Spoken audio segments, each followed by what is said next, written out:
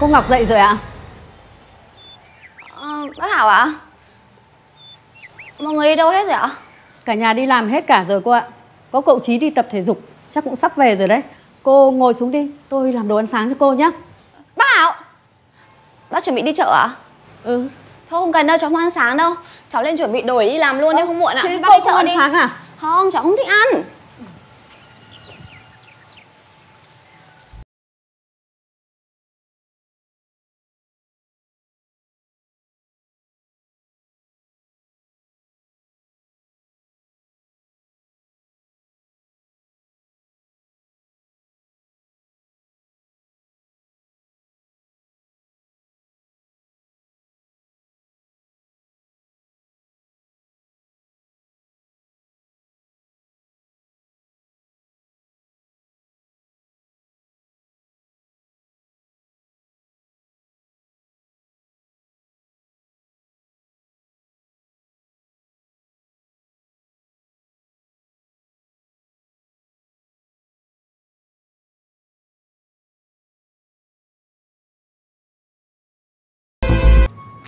Doremi của bố.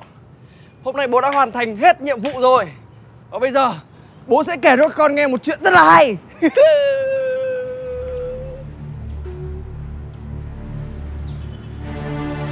Ơ, Đu ơi! Đu! Con làm sao đây? Đu! Con làm sao đây?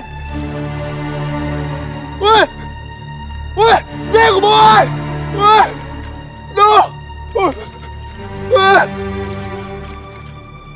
Ui Sao lại nằm chết thế này?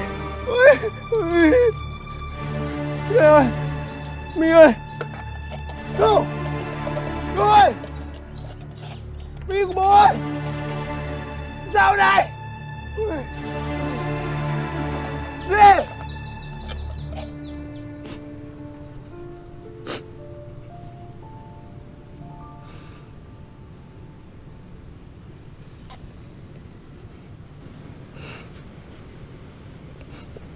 Bố xin lỗi các con.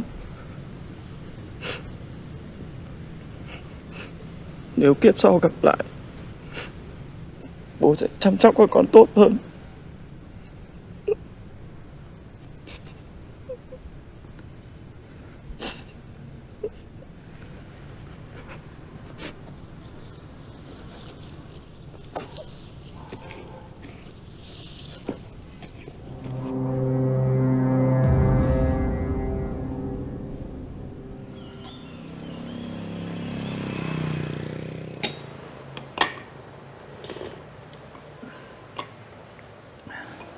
Cháu xin phép cụ ạ.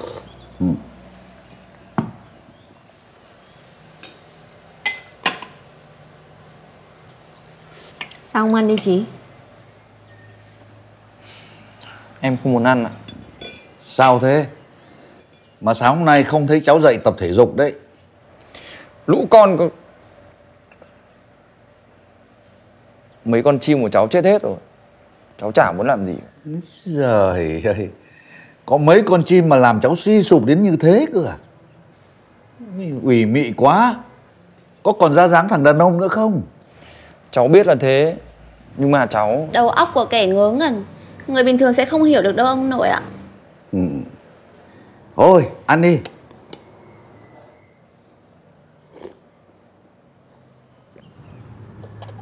Thế mày thấy giọng tao có đang giống đùa không à Con tao chết hết rồi Chả đứa nào còn sống cả. May là lên với mày rồi chúng nó mới đi. Chứ ở với tao mà tự nhiên lăn đùng ra chết Thì chắc là mày đánh tao như đòn mất. Thế làm sao mà chết? Chả biết nữa. Hôm qua tao nhiều việc quá. Lúc chiều xuống với chúng nó Thì chết hết rồi. Ừ, Thế kiểm tra kỹ xem vấn đề ở đâu Để lần sau còn rút kinh nghiệm chứ. Chết bệnh tật thì làm sao mà chết cả lũ nhanh thế được nhỉ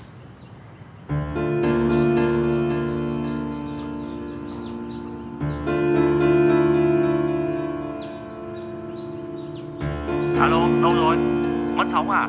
Alo?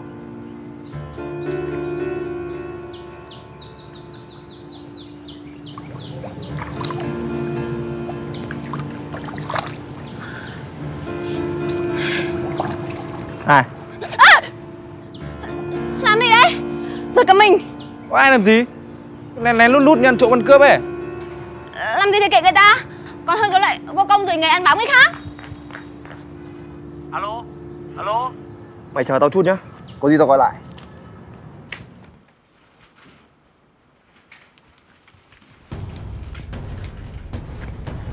Ngọc.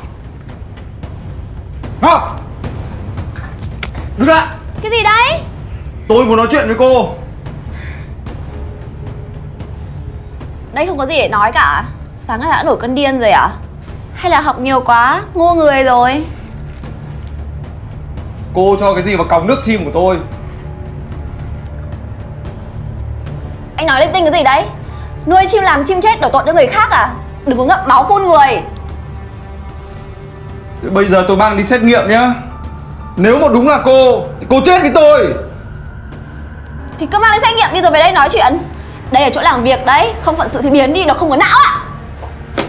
Cô đi chết đi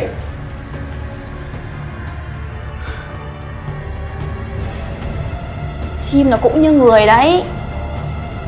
Ngu thì chết chứ bệnh tật gì. Bỏ ra à!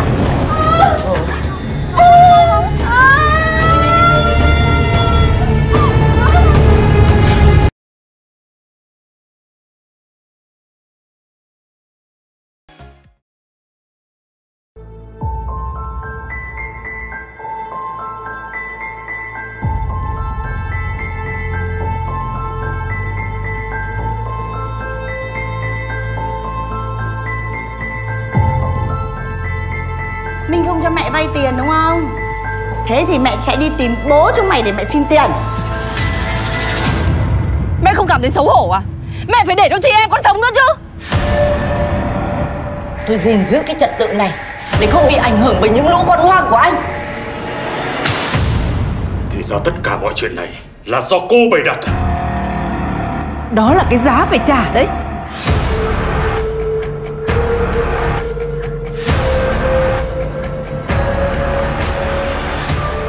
Rốt cuộc, đàn ông là như vậy à? Không ngừng phản bội. Nếu như em đồng ý ở bên tôi Tôi sẽ không làm như vậy.